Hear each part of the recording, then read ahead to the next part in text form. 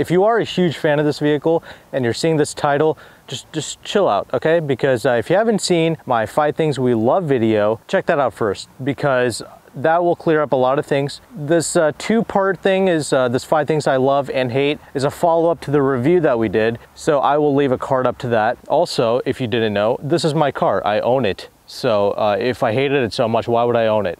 So just, just, just think a little. Getting right into it, transmission. Don't like the transmission. Not in its entirety, just sometimes I don't like it. But the sometimes I don't like it, I really hate it. So what am I talking about? This has a in-house built Hyundai Genesis, whatever, eight speed transmission. When you're on the move and you're going, it's fine, it's smooth. It's a good feeling transmission for the most part. Sometimes when you're driving the vehicle and you're at a complete stop and then you just floor it, you just turn the car and you floor it, nothing will happen for like a solid second. Now that is the scariest thing when you're trying to, you know, make a full left hand turn, you know, across the entire road and, you know, you floor it and then nothing happens. I hate that. It is just a really obnoxious thing. When I had the Stinger, which is pretty much the exact same transmission as this, but with slightly different tuning, it is tuned so much better than this vehicle. Now, I'm sure if you had the sport model, the, the tuning will be a little bit different even still, but I've heard the Stinger and G70 pretty much have the best transmission performance. Still not ZF 8-speed levels of transmission performance, but this is the worst transmission transmission performance in any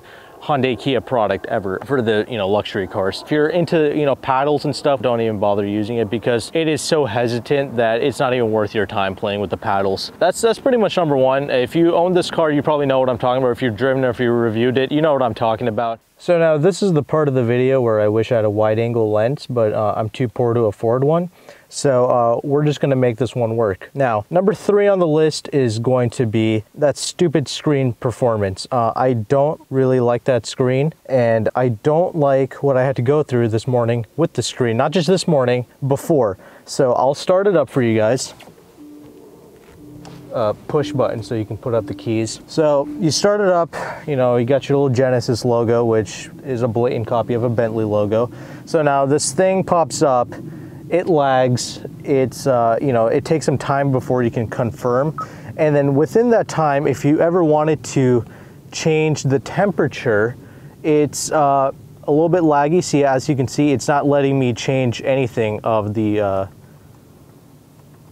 you know, it's, it's taking some time for me to, you know, change the temperature as soon as I get into the car, you see. That's part of the reason why I don't like having this climate control linked to the screen because if it's really cold outside and you want to quickly turn up the heat, the car won't let you do that because it's going to take its time, you know, loading up its software or whatnot. And within that time, you're pretty much freezing your ass off. So to not freeze it off, you should turn on your heated seats. You can turn that on, you know, immediately. You have your heated steering wheel, like I mentioned on the other five things I love video in this all-wheel drive trim. So the screen is, other than the climate control, which I think should have been separated from the screen in pretty much every car, the screen overall is just laggy compared to the, the Stinger that I had. This is uh, pretty much like a 2015 car, but it's updated for 2018. So it has a few updates, but it's just not as fast and crisp as it was in the in the Stinger. It just takes more time to load and sometimes when you click on a button it doesn't you know load up as quickly but like I said it does have Apple CarPlay and Android Auto as standard for 2018 but even that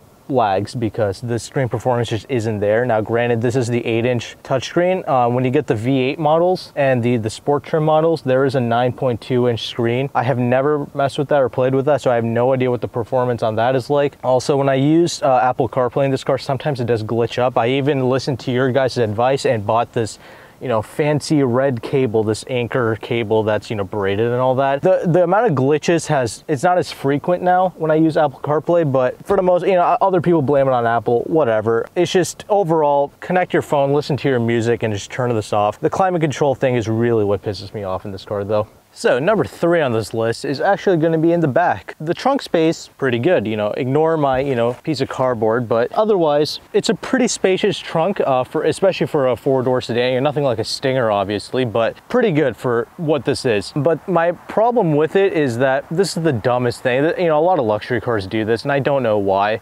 Um, you can't fold down the seats in this car, and that's, I don't understand the point of that. I guess people with luxury cars don't want to be practical. I don't know what that is, but but you know, in a pinch, it would be nice. There is a pass through that you can use. That's the only, you know, bit of extra space that you get. Um, I just wish that you can just push down the seats altogether. That, that would have been best. Now, another weird thing about this trunk now, you know, if I'm wrong about this, leave it down in the comment section, but this is like an electronic trunk. As you can see, you can open it with the key fob um, right there with that button, but you cannot electronically close the trunk uh, with the button that's just really weird to me. So you have to, you can electronically open it and there's the smart trunk access where if you stand next to it for like five seconds, it'll automatically open for you.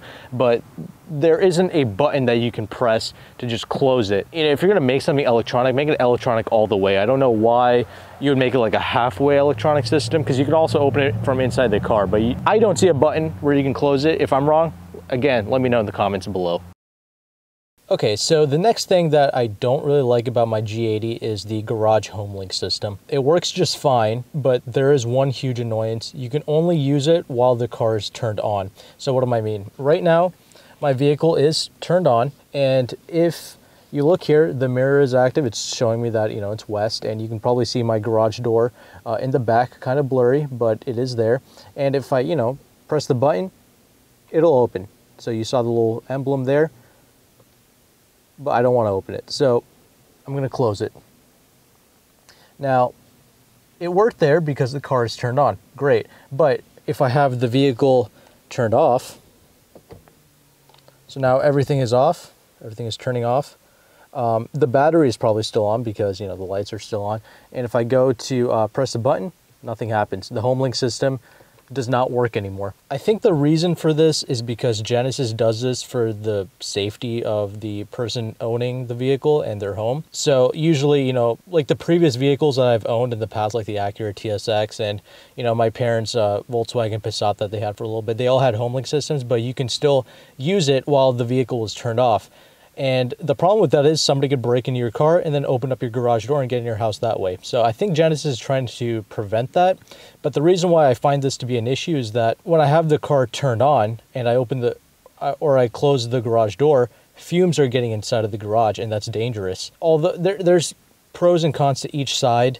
Um, I personally find this to be a nuisance, but I understand why Genesis does it because the previous Genesis before mine, you were able to close the garage door while the car was turned off. So obviously Genesis is thinking and you know this is why they do it, but I personally find this to be a nuisance. Continuing inside of the vehicle, the next thing that I don't like about this car is like the cubby spaces. Like all the space forget my uh, my camera bag there. Things that I don't like about the uh, the space in this vehicle is that there's two cup holders here, great, so I can hold two water bottles. But if you look here to the side, this door pocket, I can't even fit a water bottle in it. I'll show you. This is just a regular size water bottle. Um, Kirkland, if you care.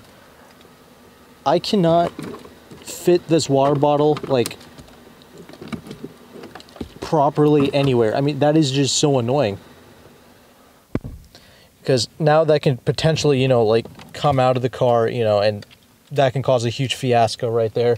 So it's just really annoying that you can't place anything. And I'm sorry, I don't have a Tim Hortons small cup of coffee to test that with, partly because I don't drink coffee and partly because I'm in America where there is no Tim Hortons. And I'm not about to go to Starbucks. Anyway, that's just a small thing uh, that I don't like. I can't really fit more than two water bottles comfortably in this vehicle. The other door pocket is much the same. But there are things that are done well in this vehicle. Like I like these controls right here. They fall perfectly where your hands fall. It is a little bit cumbersome. There's a lot of buttons going on here for the mirror, but overall, it's pretty good. My hands fall exactly where they need to be. The only other thing is that there is no handle to, you know, grab onto to close the door. There's only this thing right here and that's kind of you know usually most cars have a, a, a, thing where you can kind of grab onto but this car doesn't have that. And the door is just so long that you know you kind of want that. But there's like some strange ergonomics and this is kind of where like the stinger and the newer kia hyundai products kind of shine is the ergonomics. I it was a much more clean layout and the Stinger as far as the buttons and the usability. The, the door pockets, I could comfortably fit water bottles in that vehicle. In this vehicle, it's kind of compromised. You know, accessing the uh, the USB ports are kind of strange in this vehicle. So just some things to keep in mind. You know, there's some weirdness going on. Yeah, just some strange things. I mean, overall, it's a pretty luxurious cabin, but there you go. I mean, that's uh, another little annoyance that I've experienced. And with that, that pretty much wraps up everything that I don't really like about my G80. The car is one of the greatest cars I've ever owned, driven, reviewed, whatever. These faults I mentioned, you know, you have to make, no car is perfect. You have to make compromises somewhere. And uh, these are the compromises that I have experienced with the vehicle. So if you guys can relate, if you guys agree, if you guys, every time, every time I try to make a video. Anyway, uh, if you guys uh, don't like it, you know, continue doing what you're doing. Leave that tsunami of dislikes, and um, I guess I'll have to see you guys on the next video. Thank you, and goodbye.